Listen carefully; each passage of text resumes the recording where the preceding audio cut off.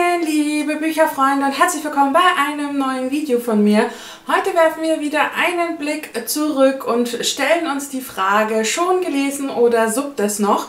Und heute gucken wir gemeinsam uns die Neuzugänge aus dem Oktober 2017 an.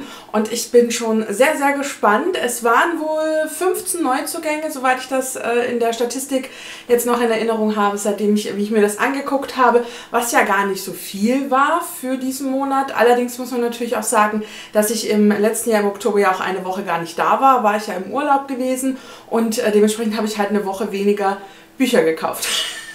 Wobei, nein, ich habe glaube ich tatsächlich am Flughafen auch nichts gekauft, weil es da schon zu spät war. Aber also als ich äh, ankam und auch hinflog, ja, ne, das war jetzt immer so am Abend und ähm, ja, zudem waren wir da, glaube ich, auch gar nicht so nachkaufen, aber äh, ja, ich war einfach urlaubsreif. Aber jetzt gucken wir uns einfach mal an, welche Bücher bei mir eingezogen sind. Zu Beginn des Monats sind, glaube ich, äh, drei Drachenmond-Bücher bei mir eingezogen. Nimmerlands Fluch von Salome Fuchs wurde von mir gelesen, ist ein bisschen eine bösartige Peter Pan-Geschichte. Auch Sternenscherben ist bei mir eingezogen. Es war so ein äh, Paket, ich glaube, wirklich mit drei Büchern. Und auch dieses Buch hat mir gut gefallen. Es sind halt leider manchmal doch sehr jugendlich geschriebene Geschichten und man hat manchmal das Gefühl, es wiederholt sich.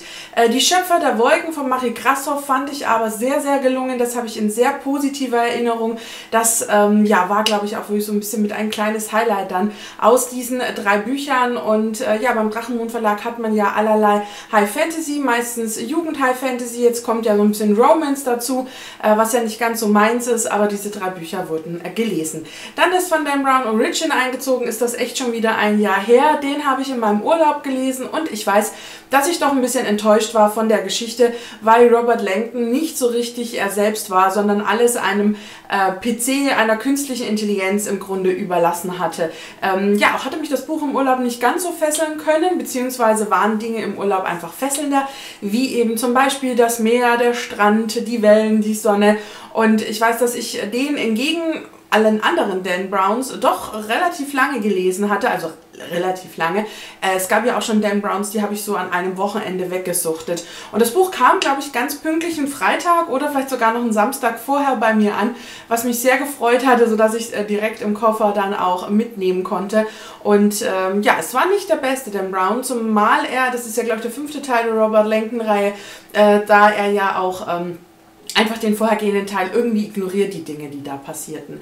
Dann ist äh, von Stephen King wenn Quendys Wunschkasten eingezogen. Das ist ja eine Novelle, die ich wirklich schön fand, gut fand. Aber mein Problem mit Stephen King ist ja immer, wenn die Geschichten zu kurz sind, dann können sie mich nicht ganz so packen und begeistern. Es wird ja jetzt auch, äh, ich glaube Mitte November, wieder so eine Novelle kommen, die irgendwie in diesem Universum um Quendys Wunschkasten herum äh, spielt. Das ist ja sehr oft bei Stephen King der Fall und auf die freue ich mich schon. Das ist, glaube ich, Erhebung und da bin ich sehr gespannt gespannt. Ja, das Lied Der Krähen von Leiba Dugo wurde auch gelesen, habe ich sehr, sehr geliebt, war wirklich ein Highlight für mich. Ich habe auch Gold der Krähen schon hier, allerdings äh, als E-Book, äh, weil ich auch hier den ersten Teil an eine liebe Freundin äh, verschenkt hatte.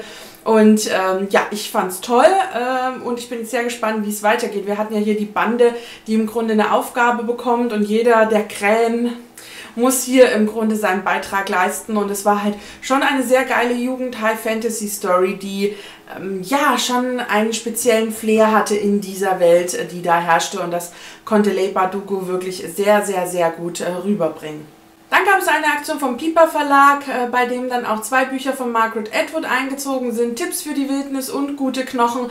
Beide Bücher wurden von mir schon gelesen, waren ja auch E-Books. Ähm, Tipps für die Wildnis waren, glaube ich, auch Kurzgeschichten. Gute Knochen, glaube ich, war eine reguläre Geschichte, soweit ich mich erinnere. Fand ich beide gut. Ich finde einfach, Margaret Atwood kann schreiben. Dann kam der Track auf Umwegen äh, zum, äh, zur Extremläuferin von Brigitte Welfenberg. Das war eben, ist eine Autorin, die im Grunde ihre eigene Geschichte, wie sie zum Laufen gekommen ist, äh, niedergeschrieben hat. Ich finde sowas immer sehr interessant, was Menschen durch den Kopf gehen, die eben einfach extreme Dinge tun. Und auch hier fand ich es total spannend, wie sie eben zum Laufen kam, zum Extremlaufen, was sie bewegte, durch Wüsten und Savannen zu laufen. Und es motiviert mich nicht zum Laufen, das muss ich ganz klar sagen. Äh, das würde ich mir manchmal erhoffen, aber ich bin überhaupt kein durch die Gegend Läufer. Ich bin also ich neige auch nicht zum Joggen oder ähnlichem. Spazieren ja, aber ähm, alles andere fände ich extrem, aber das Buch habe ich in guter Erinnerung. Ja, Die Wölfe kommen von Jeremy Fell wurde auch gelesen. Ich glaube aber nur begonnen und abgebrochen, wenn ich mich richtig erinnere. Ähm, ich kann mich tatsächlich nur noch sehr vage daran erinnern, was wohl daran lag, dass ich es nicht zu Ende gelesen habe und es mir auch nicht wirklich so gefallen hat. Obwohl der Klappentext spannend klang ähm, und auch das Cover irgendwie cool aussah mit dem, ähm, also mit dem, mit dem Schriftzug andersherum. Aber das wurde, soweit ich mich erinnere, nicht zu Ende gelesen, ähm, aber gestartet und ähm, ja, es konnte mich nicht so richtig überzeugen, was ich eigentlich schade fand. Dann wurde äh, ja gemeinsam mit ein paar anderen YouTubern Swan Song äh, gelesen von Robert McCammon aus dem Fester Verlag. Das war mein erstes Buch aus dem Verlag. Es war eine Wahnsinnsstory. Sie hat mich sehr gepackt, sehr gefesselt. Äh, passt jetzt gefühlt so ein bisschen in meine The Walking Dead Obsession, wenn man so möchte.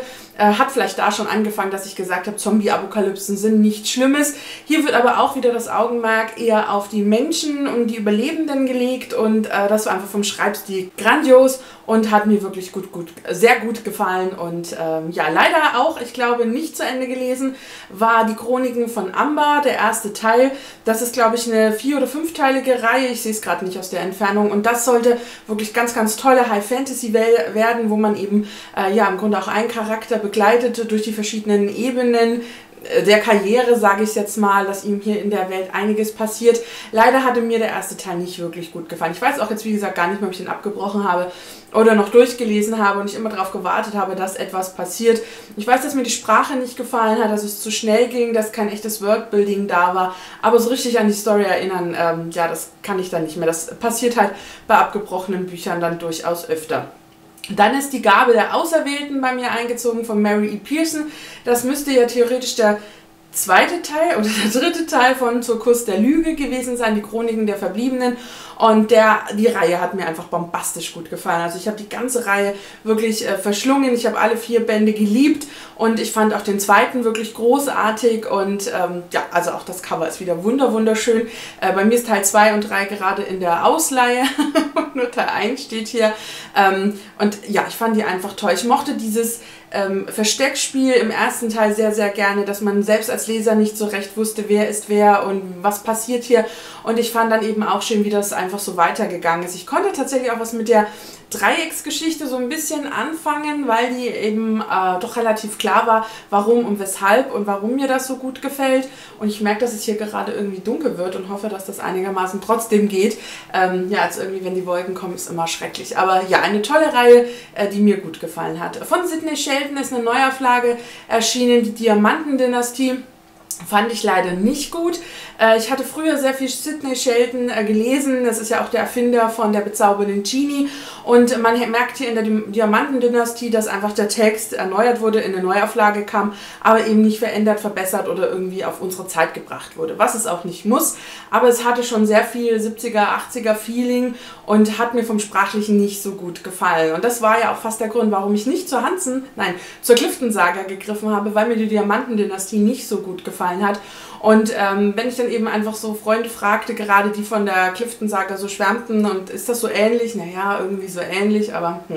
ja, Flugangst 7a, der Fitzek zur damaligen Zeit. Äh, jetzt stehen wir, wenn ich das Video drehe, kurz davor, beziehungsweise wenn ihr seht, ist wahrscheinlich der neue Fitzek schon da. Äh, war ja ein Thriller, den ich irgendwie nicht so richtig begriffen habe. Also ich glaube, ich, ja, ich konnte das Genie dieses Thrillers irgendwie nicht nachvollziehen. Mir hat er irgendwie nicht so richtig gefallen. Er war irgendwie schon spannend, aber es gab zu viele Erzählstränge, die gefühlt überhaupt nichts mit einem Flugzeug zu tun hatten, ganz zu schweigen mit der Flugangst. Und ich fand hier nicht nur irgendwie den Titel irritierend, sondern eben auch manchmal, wie die Charaktere dargestellt wurden. Und es war nicht wirklich ein Highlight. Also es ist ja, ich bin auch tatsächlich kein Fan eigentlich von diesen Verschwörungstheorien, wenn die, wenn die von Sebastian Fitzek so ein bisschen kommen. Ich mag das halt eher, wenn es wirklich so ein Psychothriller ist, wo wir einen Täter im Grunde kennenlernen und ähm, ja, seine Beweggründe nachvollziehen wollen. Und äh, das finde ich immer ein bisschen gelungener als ähm, diese Art. Und ja, das war's jetzt schon. Das waren jetzt die 15 Bücher und wie es scheint, habe ich tatsächlich alle gelesen. Was für ein Schnitt. Also ich bin da gerade fast sprachlos. Also ja, sehr, sehr gut. Also würde ich jetzt tatsächlich einfach sagen, äh, alle Bücher gelesen, 100% Erfolgsquote, das ist ja ein geiler Monat. Und ich glaube, das hatten wir noch nie, oder? Ich weiß jetzt gerade gar nicht. Oder mal bei einem Monat, wo vielleicht nur 10 Bücher bei mir eingezogen sind, aber 15 Bücher, alle gelesen, ähm, mehr oder weniger noch dran erinnert. Ähm, ja, hat mir gut gefallen. Ja, das war dann sozusagen. Ich bin jetzt ganz sprachlos, dass das tatsächlich äh, so positiv ausgegangen ist. Ja, das war es jetzt im Grunde auch schon. Äh, ja, das waren meine Neuzugänge von vor einem Jahr. Wir werden ja nächste Woche sehen, welche Bücher dann in diesem Jahr, Monat bei mir sozusagen eingezogen sind. Und ich bin natürlich gespannt, ob ihr eins der Bücher, die ich hier gelesen habe, vielleicht schon kennt. Das könnt ihr mir ja gerne mal in die Kommentare schreiben, äh, wenn ihr Lust habt. Und ich danke euch nun fürs Zusehen, wünsche euch noch einen schönen Tag, einen schönen Abend und bis zum nächsten Video. Macht's gut, tschüss, eure Steffi.